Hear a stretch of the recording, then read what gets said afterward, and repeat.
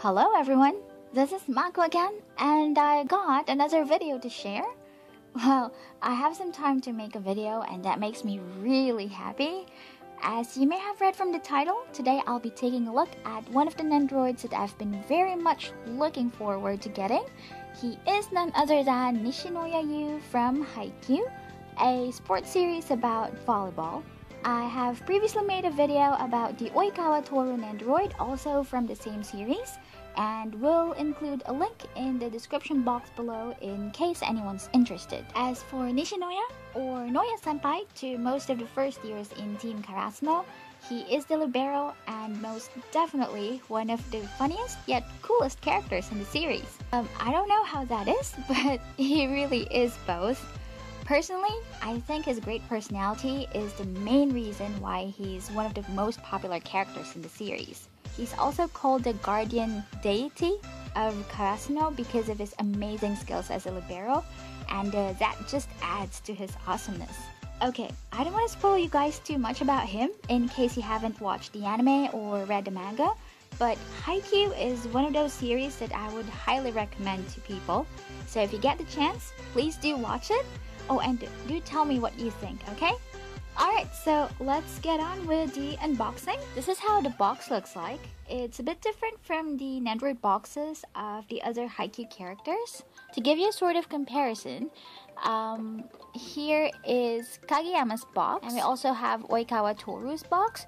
So, as you can see, the front of the boxes are all white, while Nishinoya's is orange. This may be due to his position as a libero.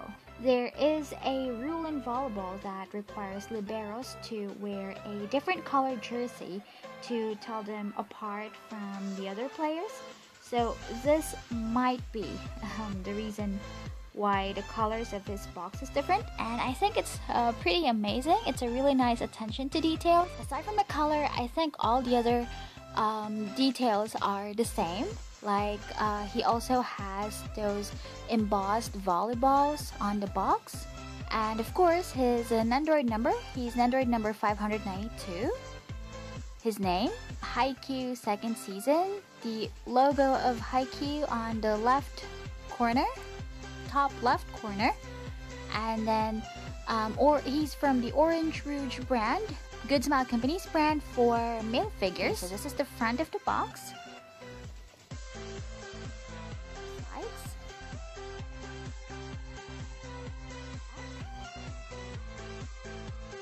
The other side.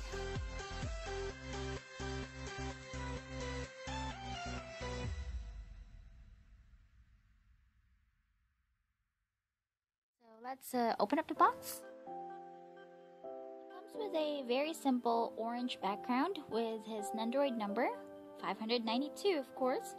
Here is Nishinoya in the blister pack. Let's uh, take a closer look at the figure and the accessories that he comes with. Nishinoya comes with a special rectangular base that looks like the floor of a volleyball court, a stand for the volleyball, and a regular stand that is shorter compared to the stands that uh, the other Haikyuu Nendoroids came with. He also comes with several pairs of arms and legs, a volleyball, and a towel that he can drape around his shoulders. Nishinoya also comes with two extra faceplates, one grinning expression, and one serious expression to display him concentrating on a match. Unlike Hinata and Kageyama, he doesn't come with a volleyball net and pole.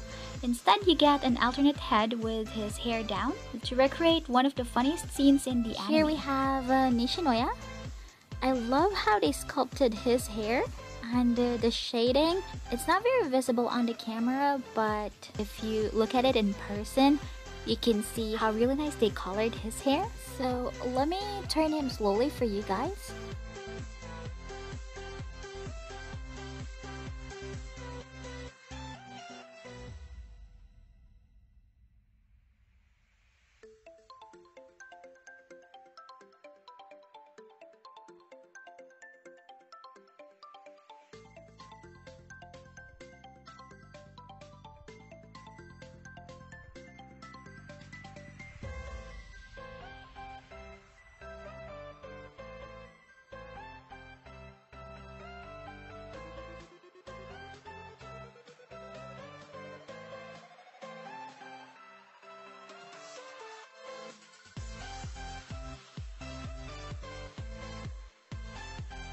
Okay, so my final thoughts about this figure.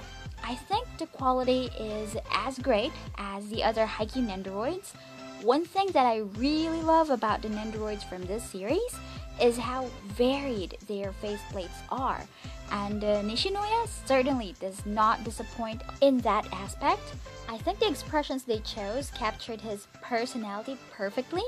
The box was also well planned, really good idea on giving him a different colored box. And the accessories that he came with are just fantastic. One thing, however, just like the other Haikyuu Nendoroids, some of his poses were difficult to recreate. There is one particular pose wherein you might need to use the longer stand that came with the other characters in the series.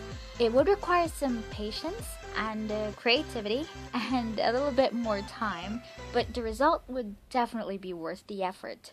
All in all, I'm very much satisfied with uh, Nishinoya's uh, Nendoroid version, and uh, I hope, I really hope, Good Smile Company will continue with this uh, level of quality, not just for the Haikyuu Nendoroids, but for all their Nendoroids.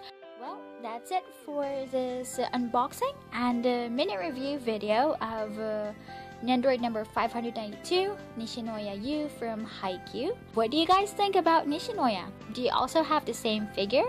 Or are you planning on getting him in the future? And who's your favorite character in Haikyuu? Let me know in the comment box below. As always, thank you so much for watching and hope to see you again next time. Bye!